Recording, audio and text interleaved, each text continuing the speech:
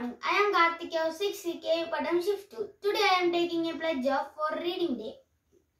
Today I stand and pledge with faith full of ability to grow through reading and discussions.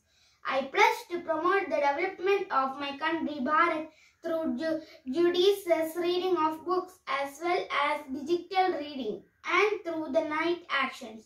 I shall read books and practice digital reading for knowledge as well as technological empowerment.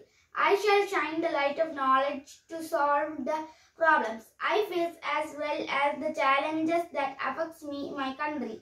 I believe that today we face multiple challenges, be it combination, substance abuse or environmental problems. I shall make reading a habit and be solution of this change. I shall ensure best complaints to the legal framework of our country and shall strive for a secure and secure atmosphere.